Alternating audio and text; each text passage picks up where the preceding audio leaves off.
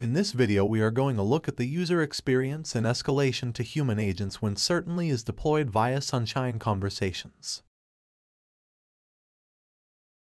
On the left side of the screen, we see a web visitor interacting with the live chat option on the site.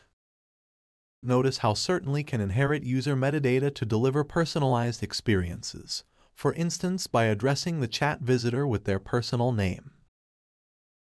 Certainly acts as a first line of support, accepting both quick replies and freely input text, and processing the claim accordingly. Claims can be solved in a single step or over multiple steps. In this scenario, the chatbot is collecting additional information from the visitor, such as their order number, and then syncing with the order management system to initiate a refund process. The chat visitor can, at any given time, request the transfer to a human agent.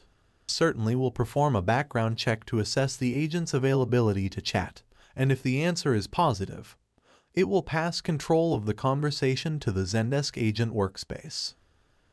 The agents will have access to the full transcript of the chat between the visitor and Certainly. Furthermore, Certainly will pass additional information into both standard fields such as tags and custom fields such as order number and sentiment. This is entirely configurable within the Certainly platform.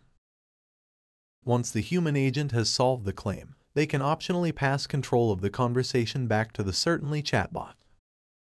In this scenario, the bot can collect feedback from the visitor or answer subsequent questions they might have. This results in granting visitors a 24-7 line of support.